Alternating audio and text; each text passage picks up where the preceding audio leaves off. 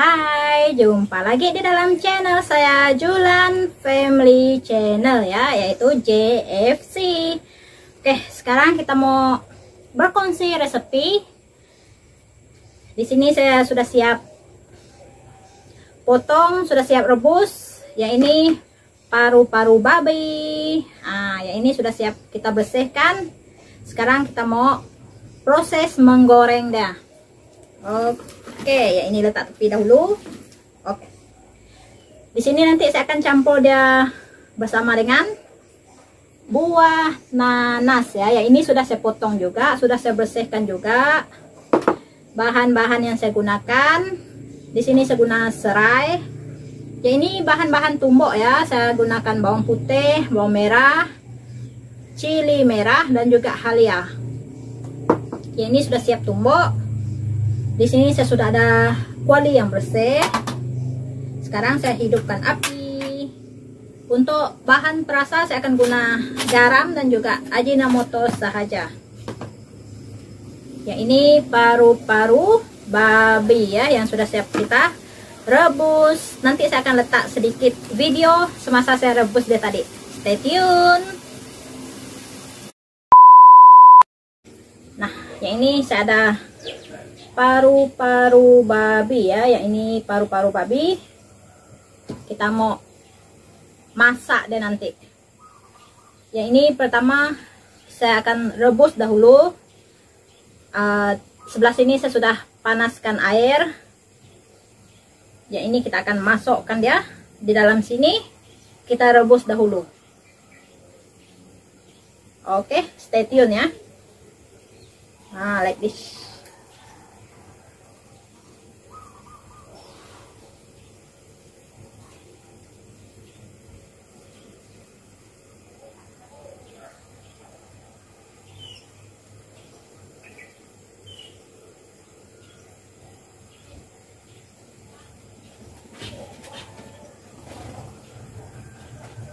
Oke, ini rebus dahulu. Nanti saya akan potong sesuai selera juga.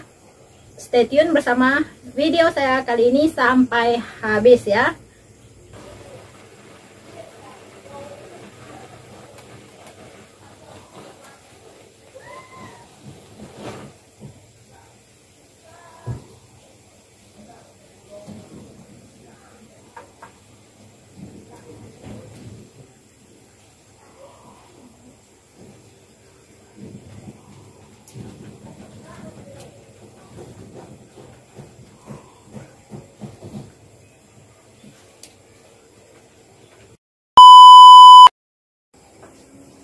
Oke, saya akan masukkan minyak secukupnya saja untuk kita menggoreng paru babi ini.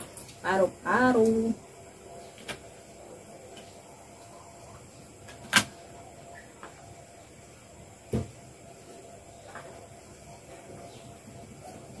Ya, ini bahan tumis kita.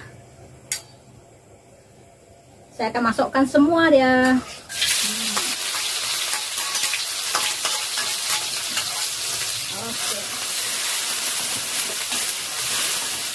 Tumis ya sehingga dia naik bau ya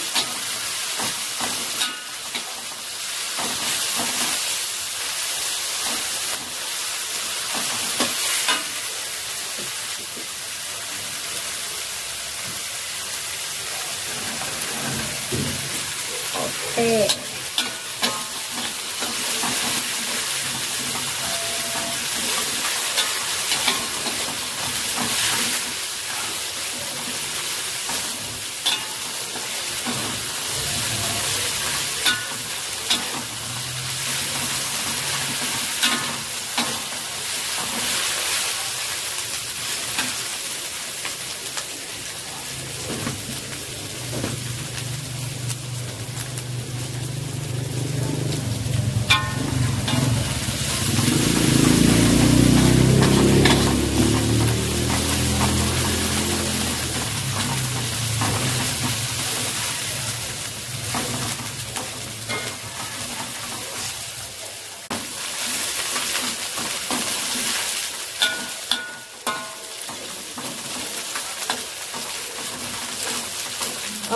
Oke, ini bahan tumis kita sudah naik bau. Jangan sampai dia hangus. Oke, kita akan terus masukkan paru-paru babi.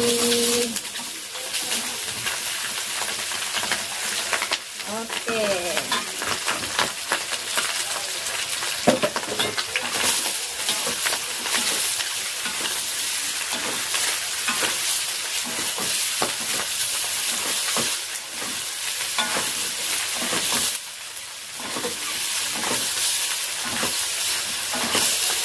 Kita kacau dia sebati dengan bahan-bahan yang kita tumis tadi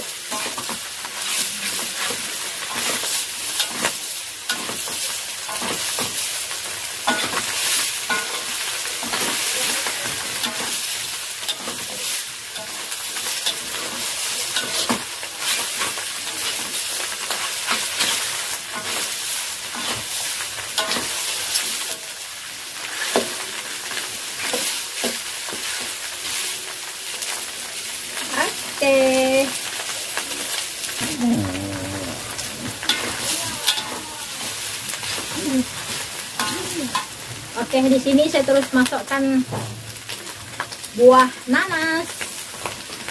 Nah, supaya nanti dia sama-sama mengering. Buah nanas juga dia ada jus dia tersendiri ya, dia ada air dia tersendiri. Kita mau goreng juga buah nanas ya. Ah.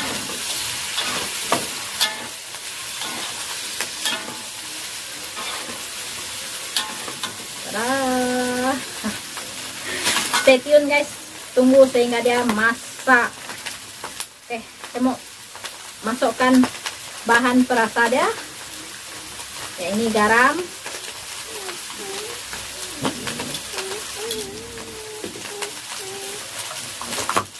Dan ajinomoto.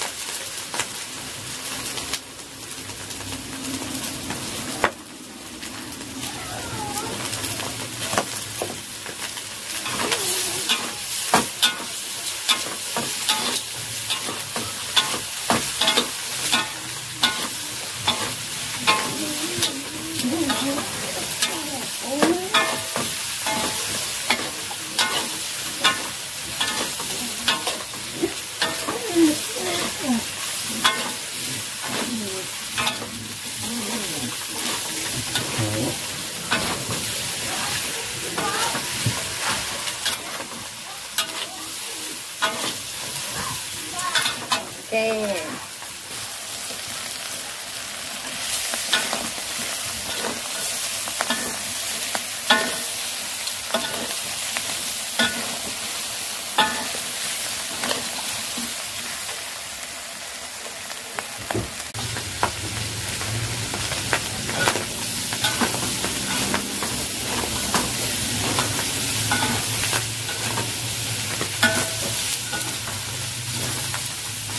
Oke, ya ini mau masak sudah.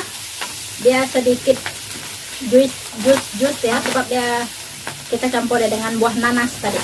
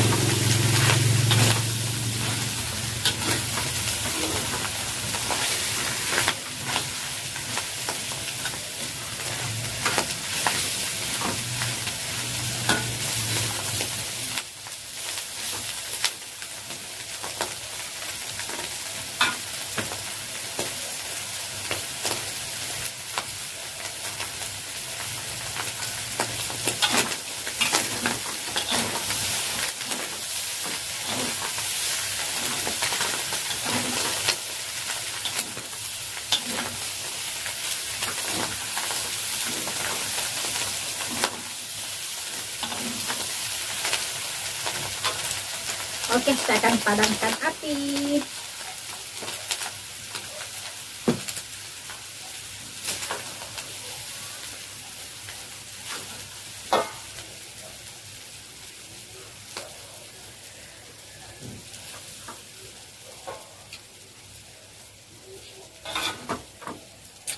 Oke, yang ini kita letak tepi dahulu.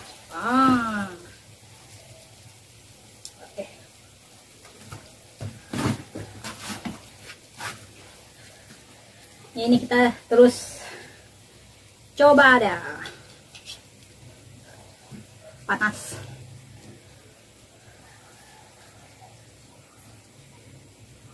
Ya, tulang krop-krop dah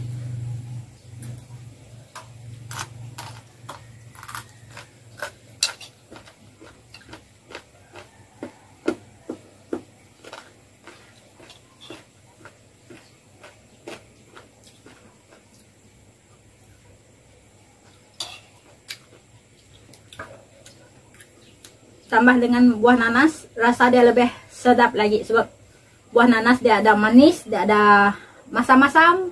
Ah, campur dengan paru-paru babi memang sedap. Jangan lupa goreng pedas-pedas. Makin dia pedas makin dia sedap juga.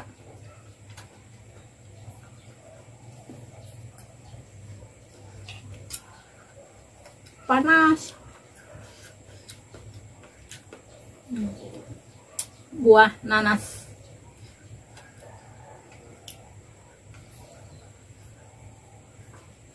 Anget. Hmm.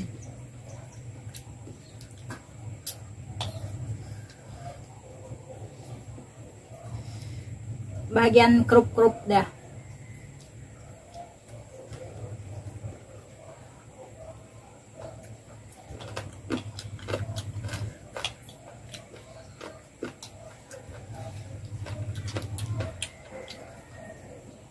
yang ini tadi untuk satu bagian paru-paru dia. Isi dia lumayan banyak. Kalau di tempat saya beli tadi satu paru-paru itu dia jual tiga ringgit. Jadi yang ini isi dia untuk harga tiga ringgit. Lumayan banyak. Kalau kita beli yang sudah siap masak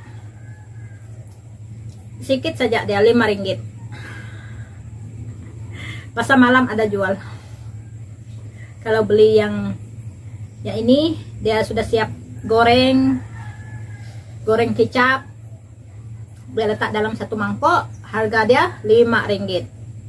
Kalau yang ini kita beli sendiri satu paru-paru tadi tuh harga dia 3 ringgit. Kita masak dia ikut resepi yang kita suka. Lebih bebaloi rasa dia boleh kita ijaz lagi di rumah. Ya ini masak dengan buah nanas memang sedap. Saya sambung lagi. Hmm. ya ini dia agak basah-basah sebab kita campur dengan buah nanas. Buah nanas dia ada jus dia tersendiri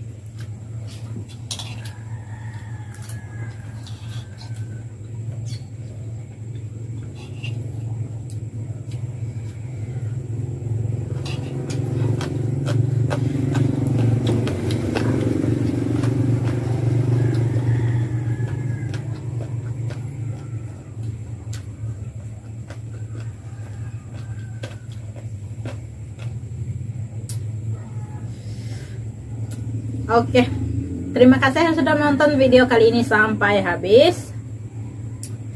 Ikut saya berkongsi resepi masak paru-paru babi. Ya ini resepi non halal punya. Rasa dia memang terbaik. Boleh try. Boleh coba. Kita jumpa lagi di next video. Jangan lupa like, komen, dan tekan subscribe ya kepada yang belum menekan subscribe di channel saya. Oke, jangan lupa nyalakan lonceng notification supaya kalian supaya kalian tidak ketinggalan apabila saya update video-video terbaru. Jumpa lagi di next video. Tada!